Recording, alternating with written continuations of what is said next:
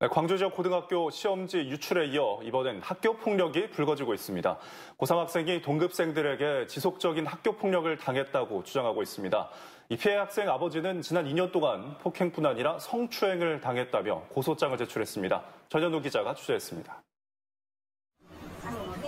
광주 광산구의 한 고등학교 3학년 이모고는 신경정신과 치료를 받고 있습니다. 동급생 3명에게 2년 동안 괴롭힘을 당한 충격이 우울증으로 이어졌기 때문입니다.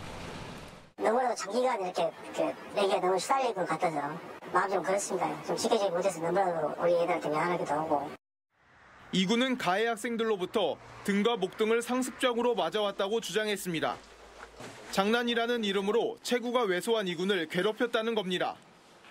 심지어 기숙사 생활을 하는 이군의 성기를 만지거나 샤워할 때 침을 뱉는 행동도 서슴지 않았다고 말합니다. 하지만 이군은 가족들이 상처받을까 두려워 피해 사실을 털어놓지 못했습니다.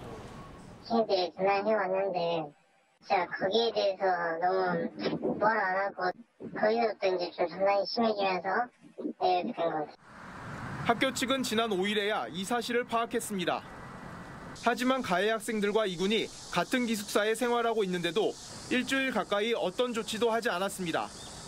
학교 측은 늑장 대응을 인정하면서 학교 폭력 대응 절차에 따라 조치를 취하겠다고 밝혔습니다. 내진 부분 분명히 좀 있고 그래서 저희들이 인지한 시점부터 신속하게 관리를 처리할 겁니다. 교육청과 경찰은 학교 폭력 경위를 파악하고 있습니다.